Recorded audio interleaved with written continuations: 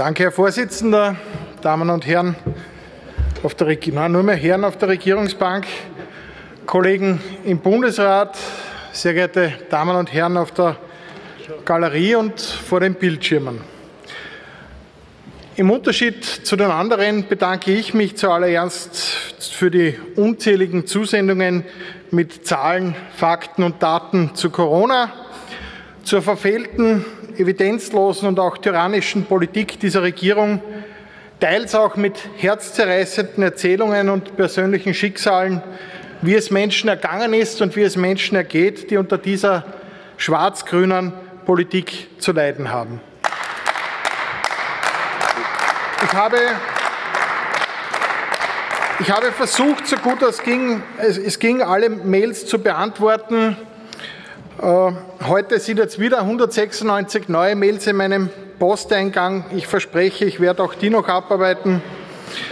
Es kamen auch hunderte Briefe. Ich entschuldige mich dafür, dass ich nicht jeden Brief beantwortet habe. Das war zeitlich ganz einfach nicht mehr möglich.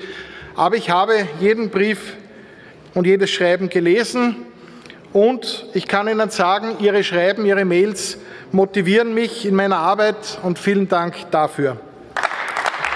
Und genauso, genauso wichtig wie diese Schreiben waren auch die unzähligen Eingaben zu den Gesetzesentwürfen zur Impfpflicht und genauso wichtig sind auch die lauten Proteste auf den Straßen. Denn letzten Endes war es genau diese Kritik der Bürger, der Menschen in Österreich, natürlich auch die Arbeit der Freiheitlichen Partei und so ehrlich muss man auch sein, auch die Unfähigkeit dieser wohl schlechtesten und menschenverachtendsten Regierung der Zweiten Republik, die jetzt in Wahrheit mitten in einem Rückzugsgefecht steckt und deshalb das Impfgesetz in dieser Form beschlossen wird. Es wird auch genau diese Unfähigkeit dieser Regierung sein, die dieses Impfpflichtgesetz wieder zu Fall bringen wird.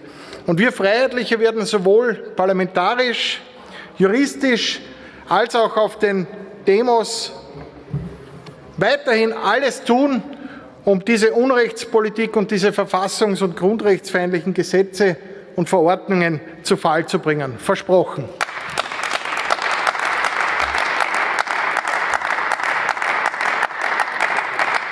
Bisher Bisher haben die Regierenden, allen voran immer Herr Nehammer, immer von den Expertinnen und Experten gesprochen, auf die sich immer angeblich berufen wurde. Erstens sind ihnen da schon einige Experten abhanden gekommen, weil sie diesen Corona-Wahnsinn ganz einfach nicht mehr mittragen wollten. Deshalb sind das jetzt wahrscheinlich auch alle Schwurbler.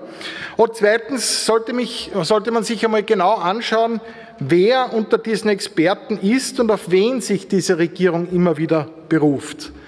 Von mindestens acht dieser Experten, die die Corona-Politik mitgestalten, weiß man, dass sie auf den Payrolls von Pharmaunternehmen, sprich also auf den Gehaltslisten stehen. Ein Name, der sehr oft vorkommt, ist Pfizer. Welch Zufall! Dann gibt es einige, die gleich von mehreren Geld kassieren. Einer war zum Beispiel bei Pfizer und googelt man jetzt seine Homepage, dann sieht man dort als Sponsor Valneva. Unabhängig, meine Damen und Herren, schaut für mich anders aus. Und stellt man sich da die Frage, ob das wirklich Experten sind, könnte man vielleicht auch dahin kommen, dass man sagt, vielleicht sind es viel eher Impflobbyisten, die doppelt kassieren, nämlich einmal vom Staat und einmal von der Pharmaindustrie. Oder ist es vielleicht so, dass man in der Pharmalobby beschäftigt sein muss und bezahlt werden muss, damit man in Österreich ein Experte sein kann? Und für mich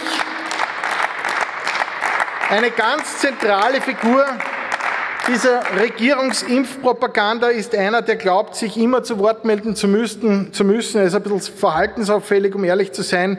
Der leider noch immer Ärztekammerpräsident Seckerisch. Der wagt es, unzähligen Ärzten die Fachkenntnis ab und das Misstrauen auszusprechen. Und nur weil diese ihre Bedenken zur aktuellen Corona-Politik und Impfstrategie samt Impfpflicht offen aussprechen. Und dieser Herr Seckeresch hat jetzt ein ähnliches Problem, wie es sonst immer die ÖVP hat. Er stolpert gerade über veröffentlichte Chats bzw. Postings in einer geschlossenen Facebook-Gruppe. Und wer sich allen Ernstes noch fragt, warum Bürger der Politik oder auch den sogenannten Experten und der Wissenschaft nicht mehr vertrauen, der bekommt jetzt die Antwort von mir auf dem Silbertablett serviert. In der Politik ist die Antwort einfach.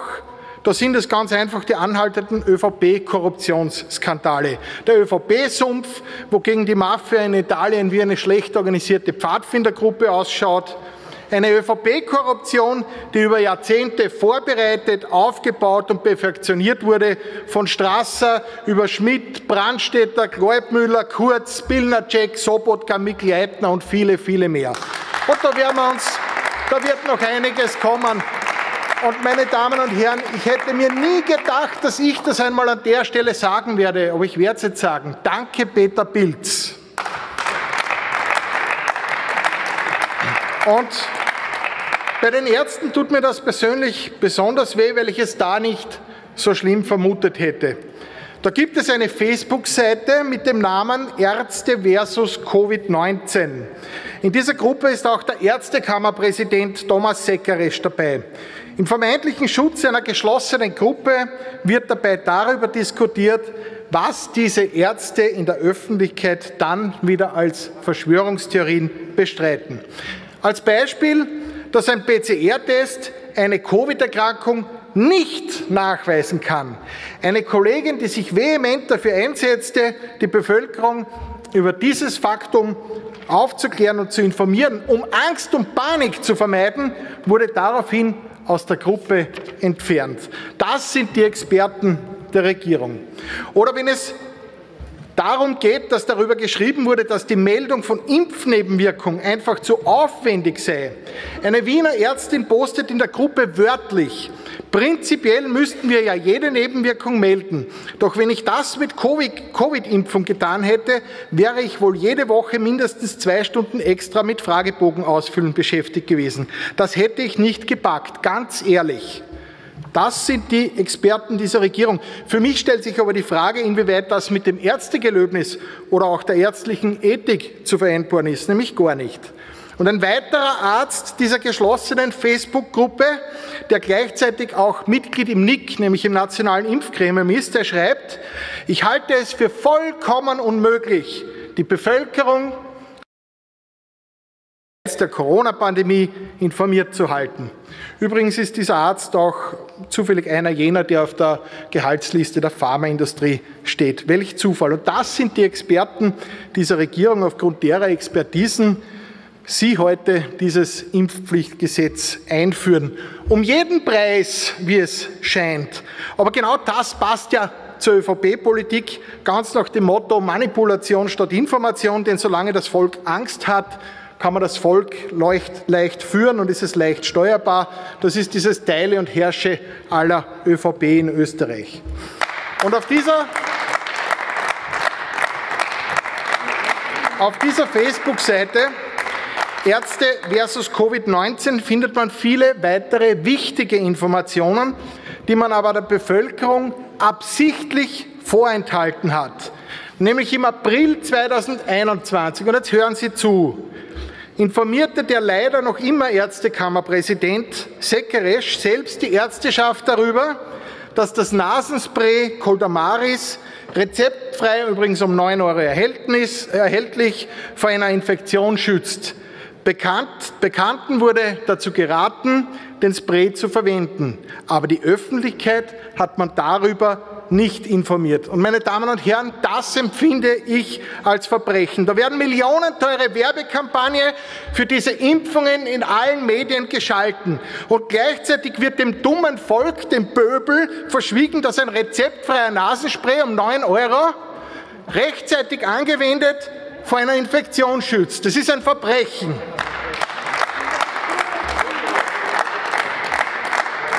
Eine Schande, meine Damen und Herren. Und das sind Ihre Experten, mit denen Sie heute die Impfpflicht durchsetzen. Da können Sie schon mit dem Kopf schütteln, aber das ist leider die Wahrheit. Und es gibt noch viele weitere solcher Ungeheuerlichkeiten auf dieser Facebook-Seite. Ich kann hier gar nicht alles aufzählen. Lesen Sie den Artikel ganz einfach nach mit den Original-Screenshots dazu, nämlich im Wochenblick. Und da komme ich gleich zur nächsten Frage. Obwohl der Artikel bereits seit 20. Jänner online ist und die Fakten auf den Tisch legen. Warum hat noch kein weiteres Medium das aufgegriffen? Krone, Kurier, ORF, Standard, na wo seid ihr da? Wo seid ihr jetzt alle? Oder dürfen Sie vielleicht nicht berichten, weil es gerade wieder ein paar Millionen von der Regierung gibt? Kann das der Fall sein? Eine, eine letzte Grauslichkeit, eine letzte Grauslichkeit von dieser Facebook-Seite habe ich noch für Sie. Man findet dort ein Gedicht, in dem es unter anderem heißt, die Ungeimpften sind nicht schlechter, nur weil sie Ignoranten sind. Sie sind Immunsystemverfechter, für gute Argumente blind und mehrenteils verrückt geworden. Sie fallen allen nur zur Last. Und doch, man soll sie nicht ermorden. Fürs Erste reicht ja auch der Knast. 74 Mitglieder aus dieser geschlossenen Ärztegruppe haben dieses grausliche und menschenverachtende Gedicht mit einem Like, also einem Daumen hoch, gewürdigt. Und der Moderator dieser Gruppe, auch Mitglied im nationalen Impfgremium und ganz zufällig auch auf der Gehaltsliste eines Pharmakonzerns, hat darunter kommentiert, großartig. Das sind Ihre großartigen Experten. Das sind die großartigen Expertinnen und Experten von Nehammer und Mückstein. Gratuliere. Und da der leider noch immer Ärztekammerpräsident Seckeresch selbst regelmäßig in dieser Gruppe gepostet hat, weiß er natürlich auch Bescheid, was in dieser Gruppe für zynische und menschenverachtende Postings geschrieben wurde. Aber ganz offensichtlich toleriert er das alles und noch dazu, wo diese Facebook-Gruppe sogar von ganz offizieller Seite der Ärztekammer beworben wurde. Da frage ich mich, warum ist dieser Herr, der Herr Seckeresch, noch im Amt? Sie schauen so betroffen, Herr Dr. Waldhäusl, äh, Kornhäusl. Herr Dr. Kornhäusl, sind Sie vielleicht Mitglied in dieser Facebook-Gruppe? Das würde zumindest einige Ihrer Postings aus der Vergangenheit oder einige Ihrer Aussagen hier aus der Vergangenheit erklären. Sind Sie Mitglied in dieser Facebook-Gruppe? Kennen Sie die? Ja, Ärzte versus Covid-19. Ja, ich bin ja nur froh, dass die Ärzte, nur ein, dass diese Ärzte nur einen kleinen Teil der Ärzteschaft in Österreich darstellen, aber leider genau sind es jene, auf die sich die Regierung beruft und die sich mit der Regierung verbrüdert haben. Und eines, meine Damen und Herren, ist für mich auch klar. Welchen Ärzten werde ich vertrauen?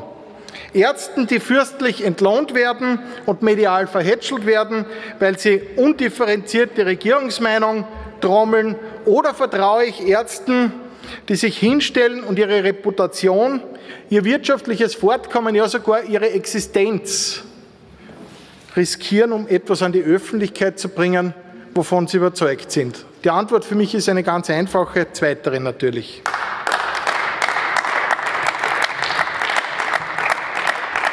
Diese, diese Impfpflicht, die heute hier von ÖVP, Grüne, SP und NEOS beschlossen wird, ist eine autoritäre und eine faschistoide Zwangsmaßnahme und ist mit unseren demokratischen Prinzipien in Österreich nicht vereinbar. Liebe Österreicher, es gibt trotz des heutigen Beschlusses absolut keinen Grund für Angst und Panik. Genau das will diese Regierung ja. Wir Freiheitliche werden weiter an ihrer Seite, an der Seite der Menschen stehen, die für Freiheit und für Selbstbestimmung eintreten. Und wir werden alle rechtlichen Möglichkeiten ausschöpfen und unsere Landsleute aufklären, wie sie sich gegen drohende Strafen auch zur Wehr setzen können. Und auf der Internetseite www.impfzwang.at, das sehen Sie hier vorne, finden Sie die wichtigsten Fragen und Antworten und diese Internetseite wird immer aktuell gehalten. www.impfzwang.at an die Regierenden gerichtet. Jetzt ist keiner mehr da, Herr Mückstein, sogar Ihre Kollegen haben Sie schon allein lassen bei so einem wichtigen Thema, dass eigentlich niemand da ist, ist ja grotesk. Wo ist der Herr Kanzler, wo ist der Herr Vizekanzler? Alle lassen Sie allein. Sollte, dann, sollte Ihnen ein Zeichen sein. Vielleicht sind es gar nicht mehr so lange Minister, wie Sie glauben. An die Regierenden gerichtet. Zeigen Sie wenigstens einmal Anstand.